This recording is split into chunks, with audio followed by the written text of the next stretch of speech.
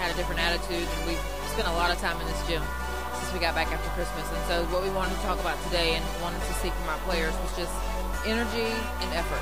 I don't care if you're playing for 40 minutes, 20 minutes, or two minutes. And so today was a great first step. We're not out of the woods yet, but I was pleased to see them carry over what we've done the last two days in practice onto the floor today.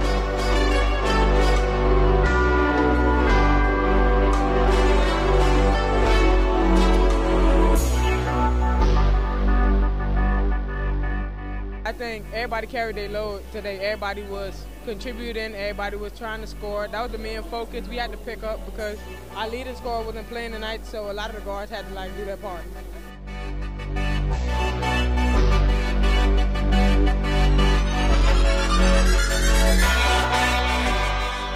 The SEC is a really, really good conference. So if we want to be able to compete and win games, we have to play the way we played today.